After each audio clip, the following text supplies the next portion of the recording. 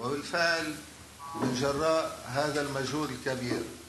أثبتت المستشفيات مرة جديدة أنها مظلة لجميع اللبنانيين. الأوقات التي نمر بها حاليا هي من أصعب الأوقات التي شهدناها وكل جريح هو يعادل ثلاثة جرحى أو أكثر حيث أن الإصابات متعددة وفي مختلف أنحاء جسده.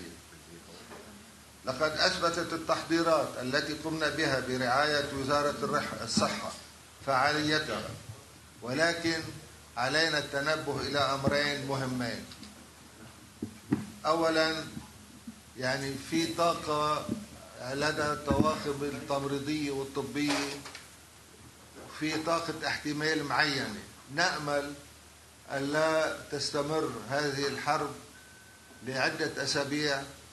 حتى تظل هذه الطواقم عندها القدرة للقيام بواجباتها بالشكل الذي تقوم به الآن.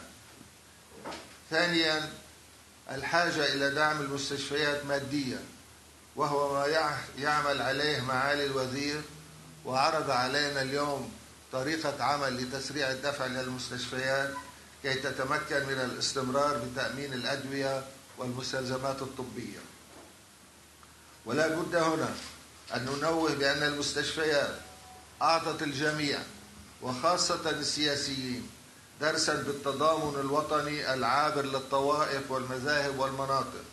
ويا ليتهم يتشبهون بالقطاع الطبي فعلا لا قولا ولو كانوا يقومون بذلك لما وصلت إليه البلاد إلى ما وصلت إليه الآن.